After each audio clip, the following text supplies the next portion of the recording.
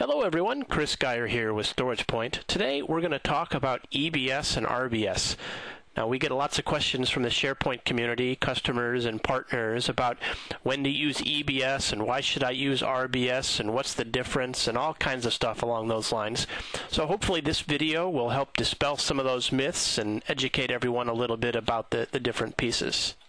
Well, first of all, let's go into how do you remote blobs anyway? The first method is SharePoint EBS. Now, EBS is actually an interface exposed by SharePoint itself. It was introduced with WSS3 post Service Pack 1.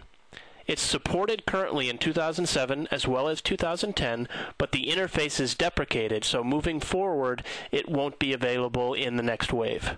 The interface itself is COM based and it's implemented as a farm wide feature. And that'll become a little bit more apparent moving forward as you see how it's exposed in StoragePoint itself. And by itself, the interface does not provide for any orphan blob garbage collection, meaning once there's an orphan blob out there, there's nothing that routinely goes and cleans that up. The next piece is SQL RBS.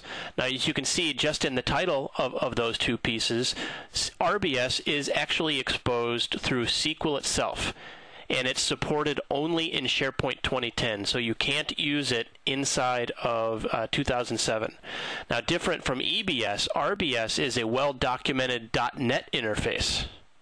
And keep in mind that this is an interface, so it's a set of APIs built on a provider model that you can use to code against those APIs and write your own provider. It's implemented as a content database scoped feature, different from the farm wide scoped feature, and that'll become apparent once again as we demonstrate how these things are surfaced inside of SharePoint. There is the concept of orphan blob collection inside of RBS, uh, but it's a single threaded piece and it's not all that configurable. So, but it's just important to know that that is there. So one additional piece that is a remoting of blobs, but really doesn't fall into the category of EBS or RBS. Rather, this is more of an archiving piece of functionality. So there's a lot of, of vendors out there that are more legacy in nature that do remote your blobs, but they do so in a non-active way. What will happen with EBS and RBS is those blobs get remoted and are never touched the database. So when you upload them, they never actually get placed into the database itself. They are placed outside the database from the get go. Whereas there are other ones out there that wait for them to get to the database and then pull them out and place them elsewhere. These don't use EBS or RBS, but are considered somewhat remoting of your blobs. Now, these are unsupported because they don't use these APIs and they break a lot of the out of box features such as search, etc. So keep that in mind as, as you're evaluating your remoting options and what you want to do to, to achieve this type of functionality. In the previous slide, I spoke of the idea that RBS is based on a provider model. You can use the RBS API to create your own RBS provider, which is obviously what StoragePoint has done. Microsoft also provides an RBS file stream provider that's free of charge and downloadable from their website. This uses the RBS API set to externalize your blobs to the local file system. Now, that word local is very important in this context as all of those blobs will need to be on the same server as the SQL server. So they need to be locally attached disk.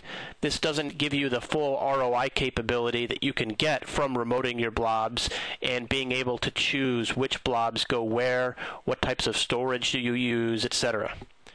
It's a basic implementation of RBS. There's not a lot of management behind it. Uh, you can't do a lot of the profiles where you can say, as I said, put some here and some there.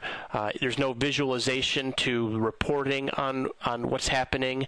Uh, the timer jobs themselves uh, that go on, uh, they're difficult to manage, etc. It really is a basic basic provider. So it does have an use case. For those of you that are using 2007 standalone version and have a, a very large database and you want to upgrade to 2010 foundation, this is where remoting those blobs come in, comes in very handy because if you're using the standalone version of Windows SharePoint Services 3.0 and your content databases are stored in the Windows internal database engine, which there was no size limitation on. In 2010, the content databases would be stored in SQL Server 2008 Express, and that has a maximum database size of 4 gigabytes per database. SQL Server 2008 R2 Express will support as ones as large as 10 gigabytes, so keep that in mind. But if you are a 2007 standalone version and your database is currently greater than 4 gigabytes, this remoting and RBS file stream is going to be an interesting use case for you. Now that we've got that out of the way, let's take a look at how this would work inside of StoragePoint. What we have here is a basic virtual machine with SharePoint 2010 and StoragePoint on it. And I want to show you what creating a profile to take advantage of RBS and EBS would look like. So if we create a new profile, and since we're going to be showing RBS, we'll call this one RBS. Uh, I said before that RBS is a content database scope. So if we select content database as our scope, you see that we have the option to use RBS now. And I can specify a specific content database I want to apply this to. We can externalize blobs using this, and I want to select asynchronous selection mode, which will give me more options on what endpoint things get written to. If we add an endpoint, I have the local ones that I can pick from. We'll select my NAS. And one of the important pieces about that is you can see that with the StoragePoint provider that leverages EBS, you're not limited to that local file system anymore. Rather, uh, that can be any variety of things using any of our adapters. I want to select a few advanced uh, asynchronous options here to use folder names and file names, etc. But at the same time, I want to use a hierarchy of endpoints based on some specific criteria I have. So it's not an everything in this content database goes here or everything in that content database goes there. I can get very granular and stack these on top of one another. So I'll add a scope that's going to be this one. And I want to drill in and say all of my departments go here or even get more specific by saying all of my content types go to a specific place. So for this case, we'll just say this site collection goes to uh, this specific endpoint. So we'll say the scope file system, we can keep going. We can say, I want the archive file system and add another scope and say everything in my sites goes to that. And you can also do include or exclude or get even more granular by file size, file type, etc. So that's how it would look with RBS. And it's very similar in if we go and we flip over and do the same thing for EBS. So let's do that now. Going back to our initial page here, create a new profile and we'll call this one EBS. Now I have the other options of doing web apps or site collections if I don't select the content database, where I can just go to my site collection and say my sites. And I want to put those, we'll do asynchronous here as well. We'll add that endpoint and say archive.